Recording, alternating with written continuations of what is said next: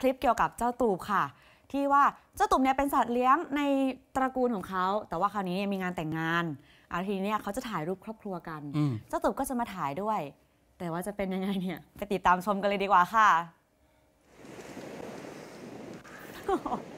น้องมากลิ้งอยู่ข้างหน้าเลยนะคะ แย่งซีนอืมอ๋ออ๋อก็อาจจะดีใจนะคะแบบยินดีด้วยอ่า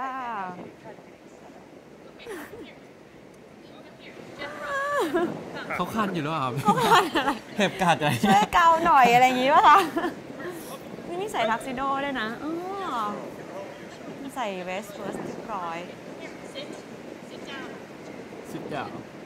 น้องตุกตัวใหญ่มากอะ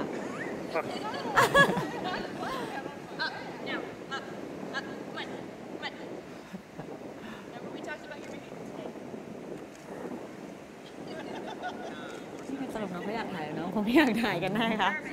เขาจำไม่ได้หรือเปล่าจะไม่ต้องมีถ่ายรูปด้วย